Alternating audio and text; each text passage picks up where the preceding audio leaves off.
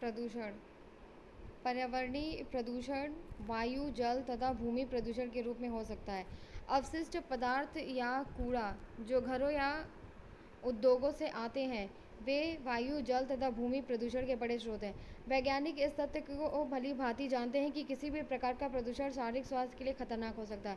अपितु कुछ शोध अध्ययनों ने प्रदूषणों के प्रत्यक्ष अथवा अप्रत्यक्ष मनोवैज्ञानिक प्रभाव को प्रदर्शित किया है। यह समझना चाहिए कि समानता किसी भी प्रकार का पर्यावरणीय प्रदूषण तंत्रिका तंत्र को प्रभावित कर सकता है, क्योंकि विषैले द्रव्य पदार्थ उस सीमा तक मनोवैज्ञानिक प्रक्रियाओं को प्रभावित कर सकते हैं प्रदूषण के प्रभावों का एक अन्य स्वरूप प्रदूषण के प्रति उन सामयिक प्रतिक्रियाओं में दृष्टिगत होता है, जो अस्वस्थता उत्पन्न करता है जिसके परिणामस्वरूप कार्य कुशलता में कमी और कार्य में अभिरुचि कम हो जाती है तथा दुश्चिंता का स्तर बढ़ जाता है। प्राय लोग ऐसे स्थान पर कार्य करना रहना पसंद कर, नहीं करते जहाँ कूड़ा फैला रहता है या निरंतर दुर्गंध व्याप्त हो।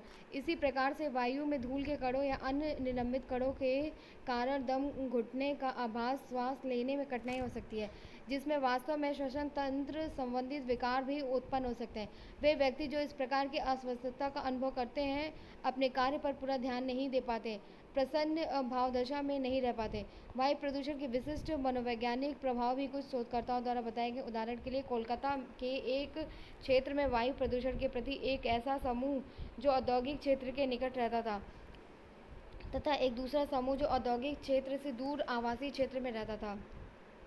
उनकी मनोवैज्ञानिक प्रतिक्रियाओं की तुलना की गई तो जो समूह औद्योगिक क्षेत्र में रहता था, उसने दूसरे समूह जो औद्योगिक क्षेत्र से दूर आवासीय क्षेत्र में रहता था की अपेक्षा अधिक तनाव और दुष्चंता का अनुभव करने की बात स्वीकार की। जर्मनी में किए गए एक अध्ययन से ऐसे प्रदूषणकारी तत्व जैसे वायु में सल्फ़र डाइऑक्साइड की उपस्थिति द्वारा किसी कार्य पर ध्यान को केंद्रित करने की योग्यता में न्यूनता तथा निष्पादन दक्षता को नीचे गिराना पाया गया। खतरनाक रासायनिक द्रव्यों के रिसाव के कारण होने वाले प्रदूषण द्वारा अन्य प्रकार की क्षतियाँ हो सकती हैं। दिसंबर उन्नीस सौ चौरासी में हुई भोपाल गैस त्रासदी, जिसमें अनेक जाने गई। भी गैस अपने पीछे अनेक मनोवैज्ञानिक प्रभाव छोड़ गई। अनेक ऐसे व्यक्ति जिन्होंने विषैली gas methyl isocyanate, cyanate MIC तथा अन्य द्रव्य सूँगे थे, उनमें स्मृति अवधान तथा जागरूकता संबंधी गड़बड़ियाँ पाई गई। घर तथा दफ्तर के पर्यावरण, भीतरी पर्यावरण में भी हानिकारक वायु प्रदूषण हो सकता है।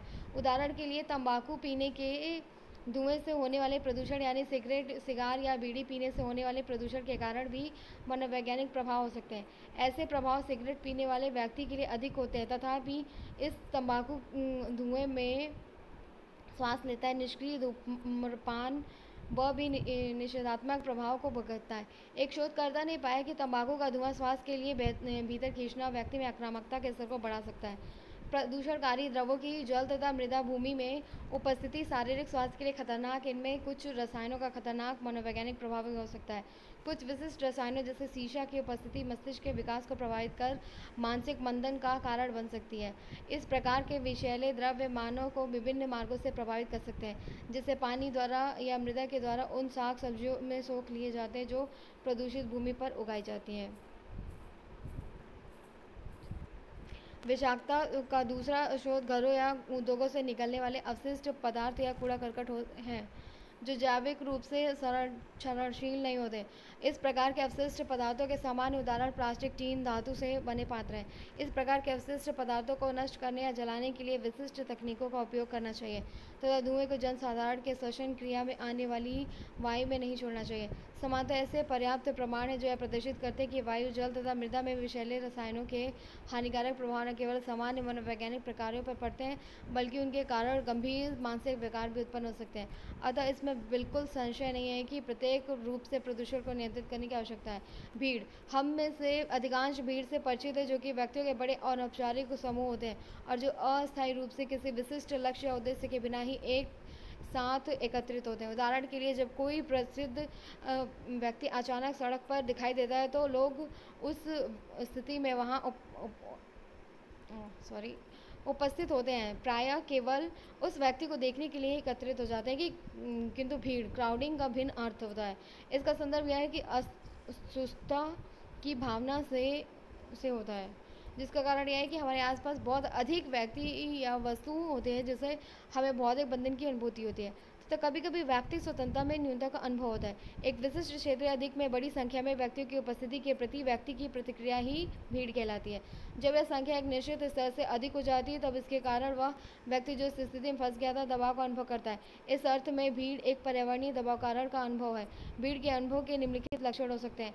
असुस्थता की भावना, व्यक्तिक स्वतंत्रता में न्यूनता या कमी, व्यक्ति का अपने आसपास के परिवेश के संबंध में निषेधात्मक दृष्टिकोण तथा सामाजिक अंतक्रिया पर नियंत्रण के अभाव की भावना।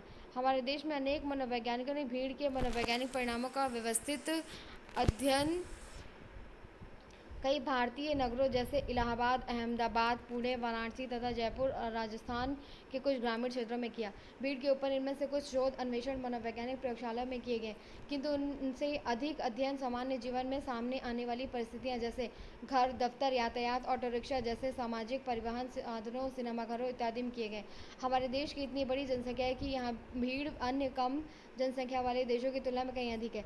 इस विशेषता ने कुछ विदेशी मनोवैज्ञानिकों की भीड़ के लिए मनोवैज्ञानिक प्रभाव का अध्ययन करने में अध्ययन भारत में करने के लिए प्रेरित किया। ज्ञातव्य है कि भीड़ की अनुभूति केवल बड़ी संख्या में जनसमुदाय मात्र से अथवा केवल स्थान, भाव से नहीं होती। यह घनत्व डेंसिटी से संबद्ध है। अर्थात किसी उपलब्ध स्थान में व्यक्तियों की संख्या। उदाहरण के लिए, यदि किसी रेल के डिब्बे में चार व्यक्तियों की सीट या स्थान पर पंद्रह व्यक्ति धक्कम धक्का कर बैठने का प्रयास करें तो व्यक्ति, प्रत्येक व्यक्ति को भीड़ की अनुभूति होने की संभावना है। इन्हीं पंद्रह व्यक्तियों को एक बड़े हॉल में बैठा दिया जाए तो किसी भी भीड़ की अनुभूति नहीं होगी। कोई व्यक्ति यह प्रश्न उठा सकता है कि क्या भीड़ अनुभव सदैव अधिक घनित, घनत्व वाली स्थितियों में ही होता है? तथा क्या कभी सब सभी व्यक्ति सॉरी उसके निषेधात्मक प्रभाव समान सीमा तक ही अनुभव करते हैं। यदि आपने दोनों प्रश्नों का उत्तर नहीं दिया है तो आप सही हैं। हम जब हम किसी मेले या विवाह उत्सव में जाते हैं तो प्रायः भौतिक विन्यास में अधिक घनत्व होता है तथा तो हम उसी रूप में उसका आनंद लेते हैं। अंततः कोई मेला या विवाह उत्सव का आ, क्या होगा यदि वह बहुत कम व्यक्ति हो? दूसरी ओर यदि एक छोटे कक्ष का बहुत सारे व्यक्ति साझा कर उपयोग कर रहे हैं तो सबको ही परेशानी का अनुभव होता है।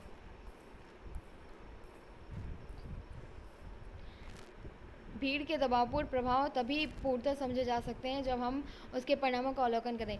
भीड़ एवं अधिक घनत्व पर जो अनेक अध्ययन भारत तथा देशों में अन्य देशों में किए गए उनके प्रभाव के वर्णन का सारांश नीचे दिया जा रहा है। भीड़ तथा अधिक घनत्व के परिणामस्वरूप अब सामान्य व्यवहार तथा आक्रामकता उत्पन्न हो सकते हैं। अनेक वर्षों पूर्व शो पर किए गए शोध में यह परिलक्षित हुआ कि प्राणियों को एक बाड़े में रखा गया। प्रारंभ में यह कम संख्या में थे। इस बंद स्थान में जैसे जैसे उनकी जनसंख्या बढ़ने लगी, उनमें आक्रामक तथा विचित्र व्यवहार प्रकट होने लगे। जैसे दूसरे चूहों की पूछ काट लेना। यह आक्रामक व्यवहार इस सीमा तक बढ़ा कि अंततः ये प्राणी बड़ी संख्या में मर गए जिससे बाड़े में उनकी जनसंख्या फिर कम हो गई। मनुष्यों में भी जनसंख्या वृद्धि के साथ कभी कभी हिंसात्मक अपराधों में वृद्धि पाई गई।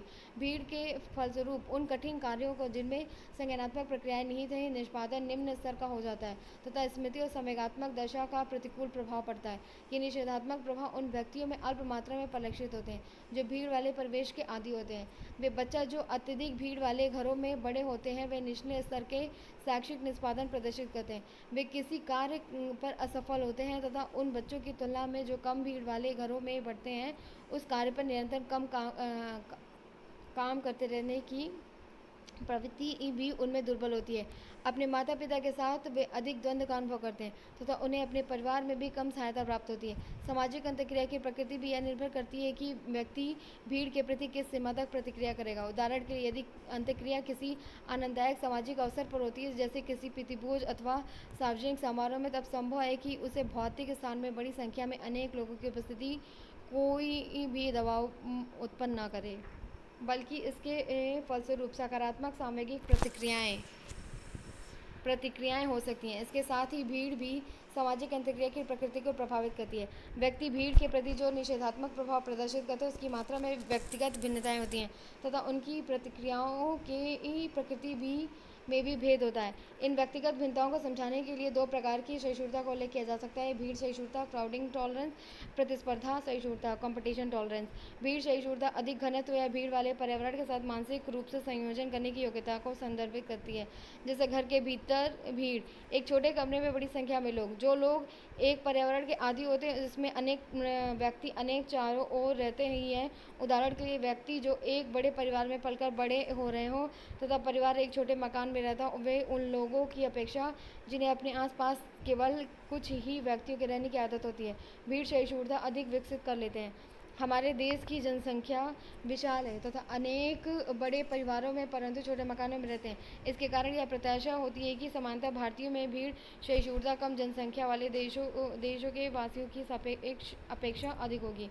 प्रतिस्पर्धा, सहिष्णुता वह योग्यता है जिसके द्वारा कोई व्यक्ति उस स्थिति को भी सह लेता है जिसमें उसे मूल संसाधन यहाँ तक कि भौतिक स्थान के लिए भी अनेक व्यक्तियों के साथ प्रतिस्पर्धा, प्रतियोगिता करनी पड़ती है। चूँकि भीड़ इतनी ही की भीड़ की स्थिति, संसाधनों के लिए प्रतिस्पर्धा की भावना, संभावना, इसलिए उस स्थिति के प्रति प्रतिक्रिया भी संसाधनों के लिए प्रतिस्पर्धा सहिष्णुता से प्रभावित होगी। सांस्कृतिक विशेषताएँ निर्धारित कर सकती हैं कि एक विशिष्ट पर्यावरण, आत्मनिष्ठ व्यक्तिपरण, व्यक्तिपरक रूप में किस सीमा तक भीड़ या कम भीड़ वाला निर्णित होगा।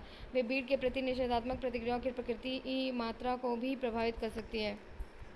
उदाहरण के लिए जिन संस्कृतियों में जो व्यक्ति अधिक समूह या समाविष्ट के महत्व को रेखांकित करती है, उनमें व्यक्ति के परिवेश में अधिक व्यक्ति की उपस्थिति में अवांछनीय स्थिति माना जा सकता है। दूसरी ओर वे संस्कृतियाँ जो व्यक्ति को समूह में या समाविष्ट से अधिक महत्व देती हैं, उनमें व्यक्ति में प्रवेश अनेक व्यक्तियों की उपस्थिति उसके लिए सुविधाजनक होती है। परंतु समग्र रूप से चाहे संस्कृति समूह को व्यक्ति से अधिक महत्व दिया हो, जाता हो, इसके ठीक विपरीत यह स्पष्ट है कि संस्कृतियों में भीड़ को दबावपूर्ण ही अनुभव किया जाता है। व्यक्तिगत स्थान पर्सनल स्पेस या वह सुविधाजनक भौतिक स्थान जिसे व्यक्ति अपने आसपास बनाए रखता है। अधिक घनत्व वाले पर्यावरण से प्रभावित होता है। भीड़ में व्यक्तिगत स्थान प्रतिबिंबित हो जाता है। तथा तो भीड़ भी, भीड़ के प्रति निषेधात्मक प्रक्रियाओं का कारण हो सकता है। हम में अनेक ऐसे उदाहरण प्राप्त हैं जिनमें लोग भौतिक पर्यावरण के प्रति, व्यक्तिगत संदर्भ के संदर्भ, स्थान के संदर्भ में प्रतिक्रिया करते हैं। सामाजिक स्थितियों में मनुष्य जिन व्यक्तियों के साथ अंतक्रिया कर रहा होता है, साथ एक विशेष भौतिक शारीरिक दूरी बनाए रखना चाहता है। इस अंतर्वैक्तिक भौतिक दूरी इंटरपर्सनल फ़िज़िकल डिस्टेंस कहते हैं।